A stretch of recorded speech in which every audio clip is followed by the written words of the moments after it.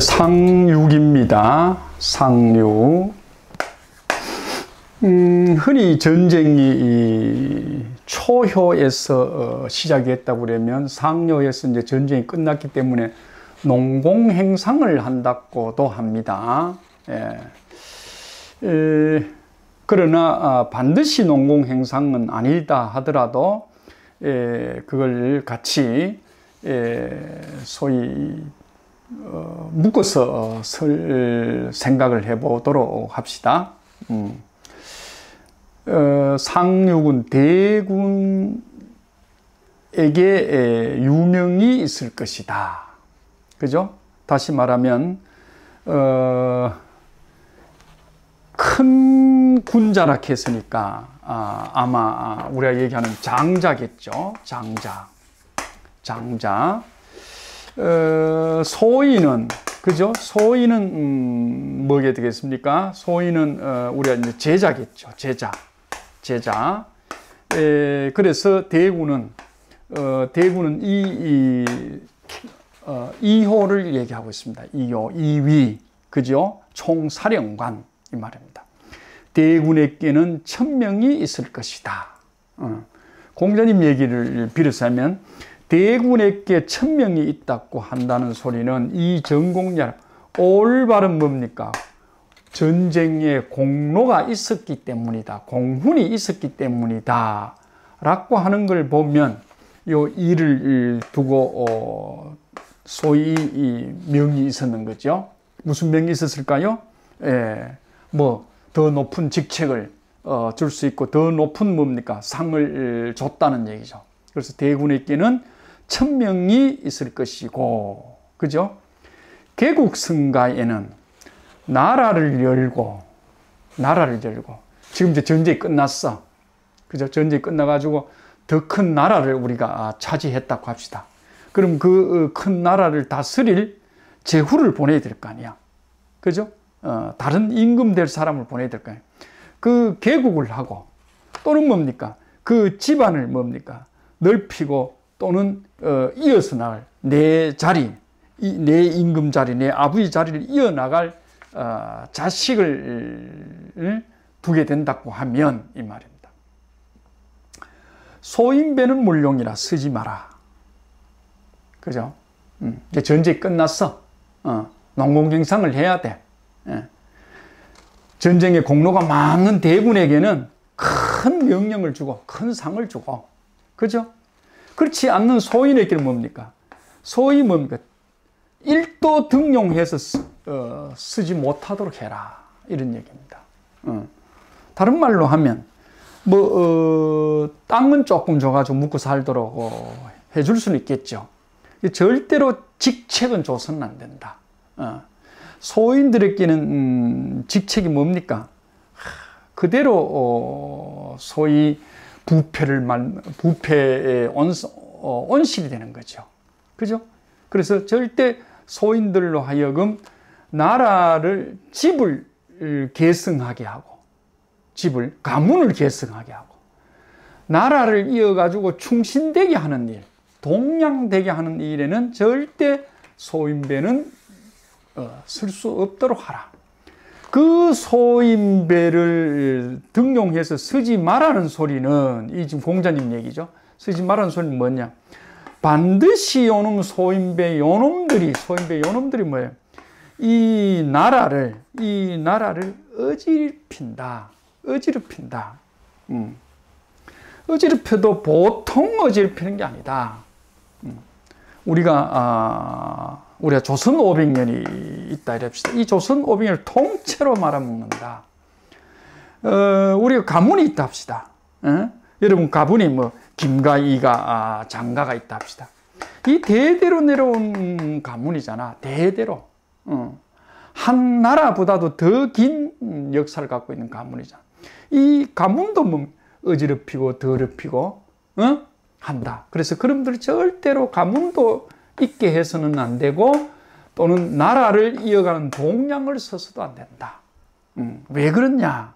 소인배란 놈들은 반드시 나라를 어지럽히고 만다 하는 게 에, 우리 전쟁을 통해서 알아봤잖아요. 여기서 1에서 6까지를 가보면 전쟁을 통해서 내 한 목숨 바치지 않고 싸우는 소위 장병이 있는가 하면 그죠? 어쩌면 어, 어, 어려운 일은 내가 피하고 쉬운 일만 내가 하고 그죠? 음, 상 주는 일에는 1번에 서고 그죠? 노고를 하는 자리에는 꼴찌에다가 서 있고 음, 이런 일들이 비일비재하잖아 세상에는 음, 세상에 만 명이 산다고 그러면 1부터 만 명까지가 있잖아 그죠? 1부터 만 명까지가 있잖아 1번은 대체로 뭐 하는 사람들입니까? 목숨 맡기지 않는 사람이죠 만 명 꼴찌 서는 사람 뭡니까? 언제나 지 한 몸밖에 모르는 사람이죠 그죠? 어쩌면 지 개인의 영달 사심을 채우는 그, 그, 그것만 가슴에, 머리에 꽉 차 있는 게 이 소인배잖아. 그죠? 어, 그래서 그 소인배들을 경계하는 얘기가 예, 여기에 예, 있지요. 어, 그래서 간단하게 한번 살펴보도록 하겠습니다. 어, 지수사가, 지수사가 아, 상이 바뀌면 요래 산수 몽개가 됩니다. 그죠? 산수 몽개가. 산수 몽개가 예를 들어서 요게 양을 양대로 붙이면 이렇게 되겠죠. 풍지관계가 되겠죠. 그죠? 풍지관 하면 풍하면 뭡니까? 법인 풍하면 명령입니다. 명령. 명령. 그래서 대군에게 명령이 있다. 명령이 이, 이 아래 소위 이에게 명령이 내려간다. 아, 이런 얘기죠. 그 다음에 이,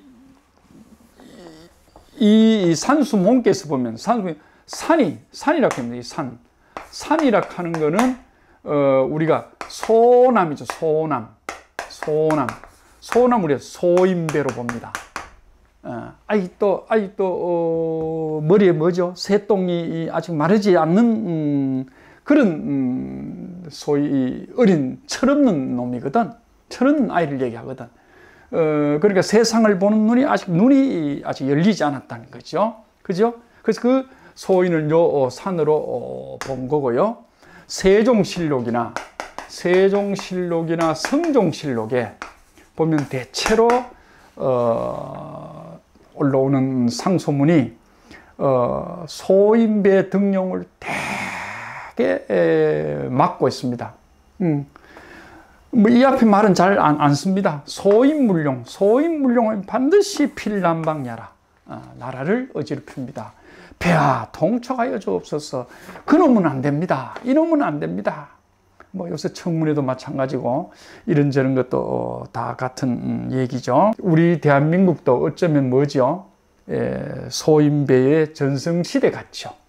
참, 음, 저도 뭐, 어, 나이 70이 넘어가지고, 어, 이 세상을 바라보려 하니까 참 마음이 편치 않습니다. 음, 이, 이 나라가 이래밖에 안 되느냐 수준이 예, 이런 생각이 많이 들죠.